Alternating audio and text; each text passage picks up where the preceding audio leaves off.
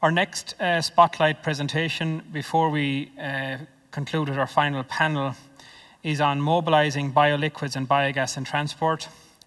Our presenter is James Cogan, and James is an Industry and Policy Analyst at Ethanol Europe. Uh, James, the Ethanol Europe is part of the uh, ClonBio Group. His expertise is on EU climate innovation and economic development policy. He's currently working to support the introduction of climate-friendly E10 petrol in Ireland. He's a member of the private sector mechanism of the UN Committee on Food Security and represents the World Climate Ethanol Alliance as a partner to the UNFCCC at COP24 in 2018 and COP25 in, in 2019. He has worked for the European Commission and his partners on innovation, finance and innovative uh, project development. Uh, we're also very grateful and acknowledge the work of James as chairperson of the IrBEA Bio, Transport Bioenergy Policy Subgroup and for your work on behalf of IrBEA members on that group. So I invite James to uh, present to you uh, now. And could I just ask as well, um, our panelists for the next panel, which will take place immediately after James's presentation, to make your way over to get mic'd up for the next panel. It's we have eight, eight speakers on the panel, so it's quite large. So I'd ask you to make your way to the stage to the to get uh, your mics on here. So I'll hand over to James. Thanks very much, James. We look forward to your presentation. Uh, thank you very much, uh, Sean. So, uh, and thank you all very much for being here and for giving me this little slot.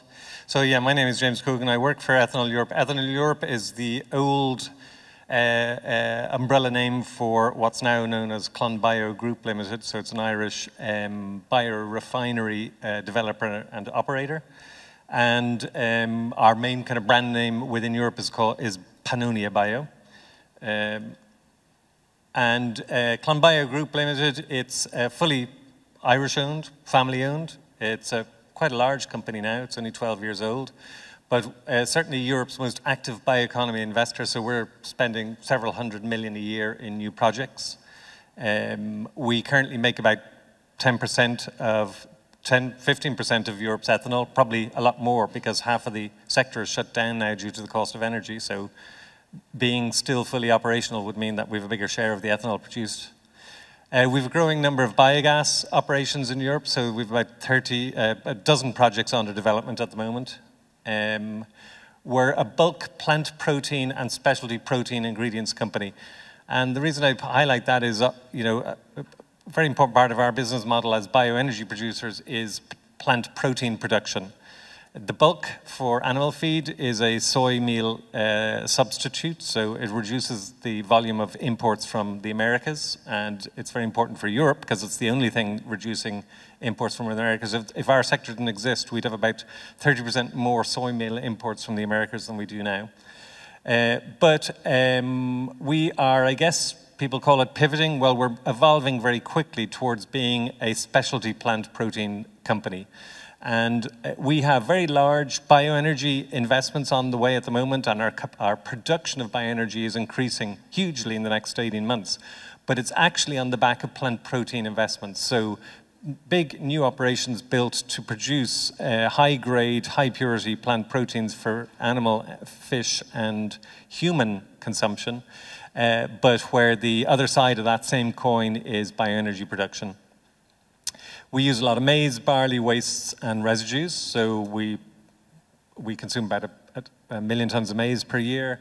And in the next couple of years, we'll probably reach similar volumes in barley.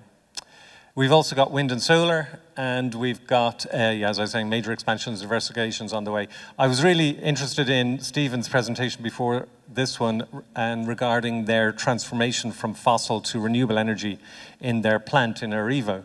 Um, two years ago, we were Hungary's, uh, one of, among Hungary's biggest consumers of fossil natural gas, consuming about 1% of natural gas on the grid. And natural gas was very cheap two years ago. And our uh, management uh, had a look at a whole bunch of energy tra transformational uh, uh projects, uh, including putting in a biomethane plant, an AD plant on site, using residues from the site, um, including a whole bunch of machines for recovering energy from steam, uh, including um, wind power. And none of them made any economic sense uh, two years ago. In fact, if you'd been a publicly owned company, you'd probably been fired for even suggesting them. There wasn't any payback on them. They went ahead anyway, spending 20, 30, 40 million euros between one thing and another. Uh, and of course, this year, as we've seen, uh, two really huge effects. One is the company is very strong, in a very strong position, having uh, being able to consider a zero external energy operation if that came to be necessary. So let's say there was no gas available on the grid or it became so expensive that we would either have, we'd have to shut down. Well, we could actually operate with no taking in no external energy at all taking in some external energy, we're about 70% down on where we were two years ago, which is, makes us a, a huge difference. And it makes us, it insulates us hugely from the volatility uh, in, the, uh, in the system at the moment. Not to mention, of course, the positive environmental and climate benefits of doing that. So that's a bit about us. The rest I'm going to talk about as a kind of a, the IrBEA guy on transport uh, bioenergy. Um, I'm going to focus on uh, four things that aren't necessarily very uh, constructive, or not very positive, but I hope they're constructive. And um, they're the things that are upmost on my mind anyway right now. Um, so, there we go. So renewables in transport in Ireland, uh, and that's all kinds of renewables. Uh, the official figure in 2021 was 10.2%. So that's the figure you'll get if you go onto the SEAI website, if you Google Re Transport Renewable Energy Ireland. Uh, the target for 20, uh, 2030, that should be 2030, not 2023, is 14%, which I think will be changed to a much higher number in uh, RED 3, even though that number isn't yet known. However, this year we'll see a drop from 10.2% from last year to 5% this year, which is a kind of a, uh, you know, a headline grabbing uh, piece of information. And it is kind of headline grabbing because um, it's definitely a step, it's a, a, in absolutely the wrong direction. So quickly, how did that happen? Uh, so total transport demand in Ireland is, uh, for, uh, is about four megatons, uh, million tons of oil equivalent. Um, most of that's diesel and petrol, obviously. And uh, of that, 0.2 million tons is renewables, so 5% in absolute physical energy terms. And that is comprised three quarters of used cooking oil, 12% uh, tallow, 12% crop biofuels, so things made out of maize and wheat and beet and so on. 2.5% uh, other biofuel, mostly uh, ethanol from uh, whey uh, and starch residues, and about 1% of renewable electricity. So then the, the, electricity, if you put that as a percentage of total transport energy, is about 0.05. So clearly, uh, used cooking oil is uh, really the, the, the huge uh, part of this whole equation. As we've seen since 2013, as renewable energy has grown in the transport sector in Ireland, we can see that it's all been down to used cooking oil, essentially.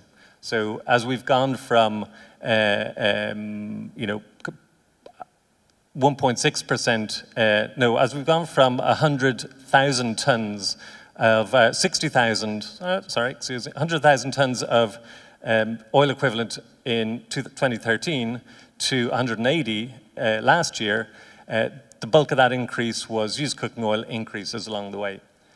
And, you know, that could be a good thing. It would be a good thing uh, in all other things being equal. But obviously, resting on one type of feedstock is risky in itself, as you can imagine. But used cooking oil was a particularly risky thing to rest on. Uh, in 2018, so we're now nearly four years ago, uh, we signed uh, the new Renewable Energy Directive to cover the period for 2020 to 2030. So Ireland signed it just as the other 28, 27 member states did as well. In that directive, there's a provision that limits the consumption of used cooking oil and also tallow, but it's mostly cooking oil is the at issue here, to 1.7% of our total transport energy demand in any member state. For some reason, Ireland didn't spot this, despite it being our biggest, the biggest element of our transport, our, our renewable transport system, and despite Ireland being by far by a huge amount, Europe's biggest consumer of used cooking oil per capita.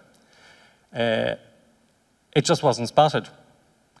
Um, earlier this year, Ireland realised this dreadful mistake. I think it was probably me who said it to him because I was on a, I was on a, a, a Teams meeting with uh, department officials and some other people, and I saw a presentation in which the consumption of used cooking oil was to increase.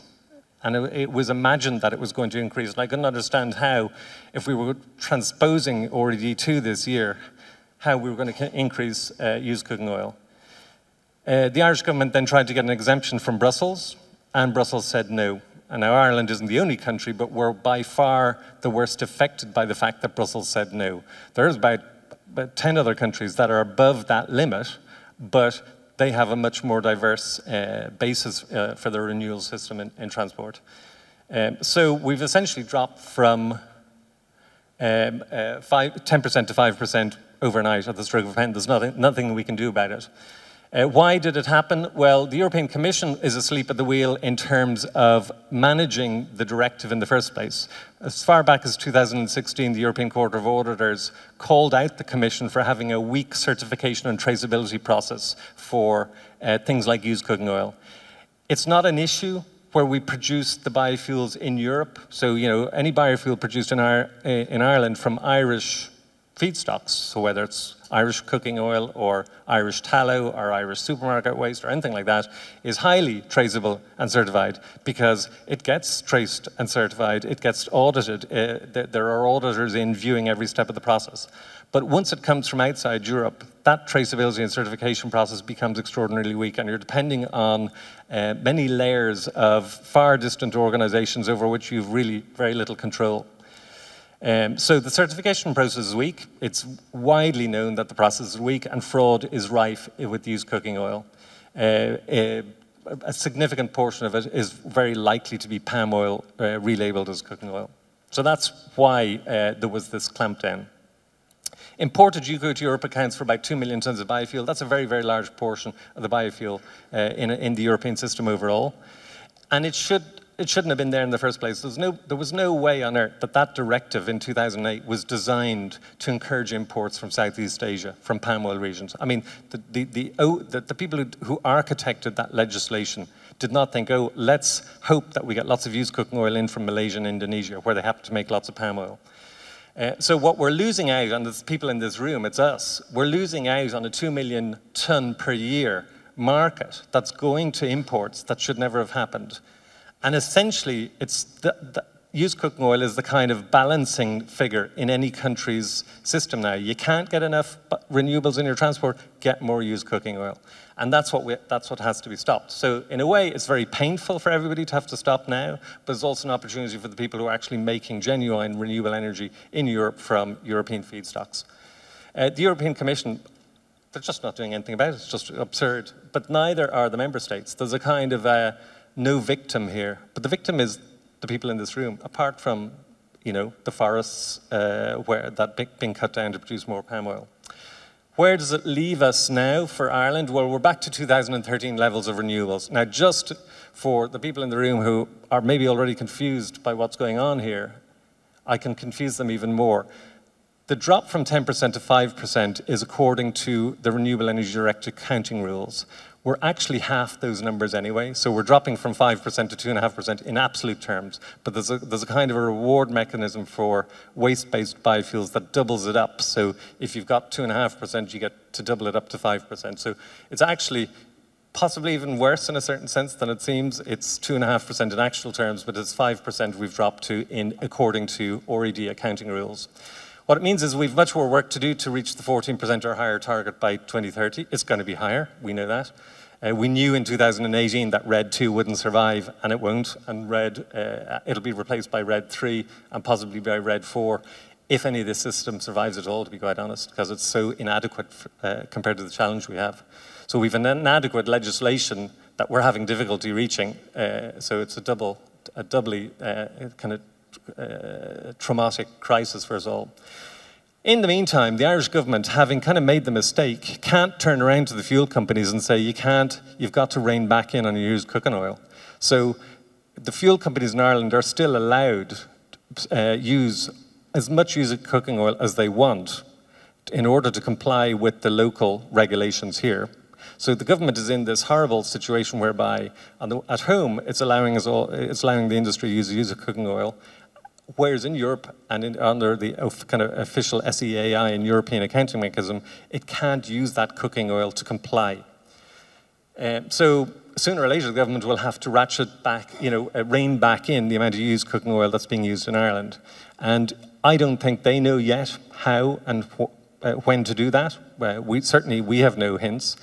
Um, clearly, nobody in Ireland is really going to suffer because, um, well, are few enough, because for the most part, the people in this room are producing stuff out of local feedstocks. The oil companies are not doing anything illegal, so the government will have to to enable them to adapt without penalising them. So it's going to be a kind of a, a government-designed um, uh, get-out-of-jail uh, mechanism here. But there is one risk for Ireland and for anybody else in Europe that is using or relying on used cooking oil and tallow as well to comply with the regulations, is that as we rein back into the 1.7%, the people that survive are the Southeast Asians and not the genuine traceable local stuff. And that's where the Irish government, if there's anybody in the room dealing with it, any, uh, or, or uh, European Commission or any other kind of regulators, that's where they need to be looking at. That's, that's the awful thing, is that we could get back down to 1%, 1.7%, and it could be palm oil. Uh, other couple of topics. So I'm an E10 guy. We make a lot of ethanol. For years, I've been going around these conferences saying and, and meeting uh, uh, uh government officials and uh, ministers. I've been through three ministers for energy now, met them all. The I met two recently together, and they both said, is E10 not in yet? We thought we'd sorted that. And so we're still here. Uh, I thought maybe we'd get in before a lot of other countries, but we're actually last. We still haven't got there. So we're still procrastinating over introducing uh, uh, petrol with 10% ethanol in it. Most of the EU is already there. It's been the European standard since 2013. No barriers, cheapest way to reduce carbon dioxide emissions. Um, it may come early next year, but no guarantee of that. And I, I guess, frankly, uh, we've lost confidence in things happening. Uh, you know, we, we tend to take a very conservative view of any dates given to us now by the, by, the, by the government.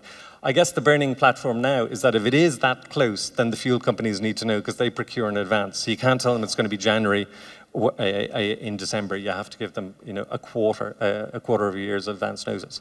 So that's one of the topics on our end. Next one in the Climate Action Plan 2021, the government had one of its actions was to do a review of the supply of renewable transport fuels in Ireland, so the, the, availability of feedstocks and the sustainability of feedstocks. That was published yesterday, so probably nobody in the room yet has, has had a chance to go through it. It should be withdrawn immediately, uh, absolutely. It's a disgrace. Uh, why? Well, they did it as a closed, uh, a, a, a, a desk research behind closed doors. We knew they were doing it because we knew it was in the climate action plan. It had to be done this year. We contacted them and said, are you doing it? They said, yeah, we are doing it. That's interesting. You should know that. And I said, okay, well, let's talk about it because we know about this stuff. We know about the markets for feedstock, uh, for biomass, for biofuels. We know the dynamics of it. We know the volumes. We have, yeah, we're, we're uh, extremely um, uh, uh familiar with uh, the data and the empiricals on this. And they said, no, we're not doing it. We're doing it, uh, it's closed. You can't participate. There's no consultation. We're not going to ask you. So essentially, it's some people sitting in a room Googling for a few weeks.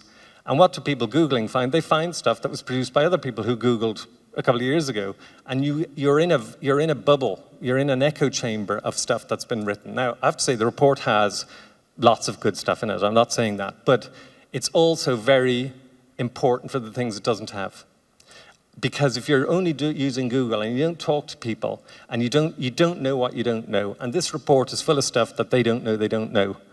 And for that reason, it should be, it should be withdrawn and reviewed and, uh, uh and published again at a later date.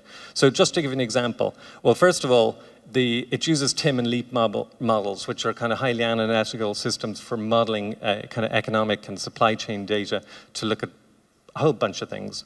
Um, we've looked at these in detail also in, with how the European Commission uses them. Um, they're done in a vacuum. They're, the data that, that, goes into them is inaccurate. The assumptions that go into, into them is inaccurate. But most importantly, the models aren't validated. So you, you set up an analytical model. You should validate it. Uh, you know, a couple of years later, you pack in the data from two years ago and see if the actual real world reflects what your model says and tune it uh, according to, accordingly. And I don't believe those models are running that way. I don't believe the data is accurate. I don't believe it's validated. Uh, the authors were uninformed of the prospects for uh, indigenous production. We could make Ireland uh, self-sufficient in biofuels inside a couple of years, as opposed to importing over 80%. Uh, uninformed of the role of biomethane. There's nothing about biomethane for transport at all. On critical acceptance of the crop, crop cap, uh, Ireland has imposed a crop cap of 2% on the biofuels it's going to use. It's an arbitrary cap. There's no reason for doing it. It was put on there years ago. Nobody remembers why. No other country is that low, or virtually no other country. France is 7%. Uh, we're not going to get out of the climate crisis by having a crop cap of 2%. But if you do a study of biomass availability, the first thing you should do is at least say, is that worth keeping or not? So we definitely missed opportunity, needs to be withdrawn. Minister Ryan, I met him on a plane a couple of weeks ago, he was coming back from the emergency meeting of uh, ministers. He told me about the 200 biogas facilities to be built by 2030 for 5 terawatt hours of biomethane. He asked me to come in and talk at some stage. I'm sure he's asked lots of people in this room. But it's, uh, nobody understands where that's coming from, what the actual basis for that uh, strategy is. At least we don't. And we're big investors. I know there are other big investors in this room as well. But we, and I met a guy at lunch, uh, Charles, who I have to say changed my mind a little bit. He's very positive. But we're not. And at the moment, our attitude to investing big in Ireland is pretty medium to poor. Uh, standing invitation to government, to any other energy policy influencers, anybody else, to come and visit our huge 44-acre bioenergy uh, campus and growing, and any of the other projects we have.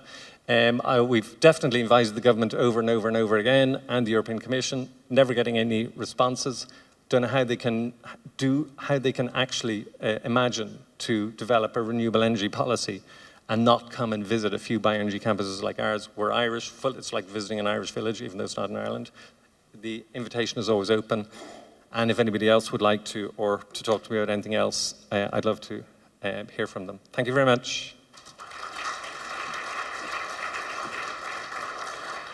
Thanks very much, James, for your presentation. Certainly many points to further explore over the coming weeks and months, uh, which you have um, mentioned in your, in your presentation.